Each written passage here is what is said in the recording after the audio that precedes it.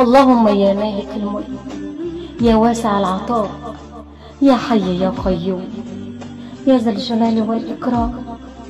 إني أسألك في هذا اليوم وبعدد من سجد لك في حرمك المكرم من يوم خلقت الدنيا إلى يوم القيامة أن تعافينا وتعفو عنا وتحفظنا نحن ومن نحب وتبارك في أعمالنا.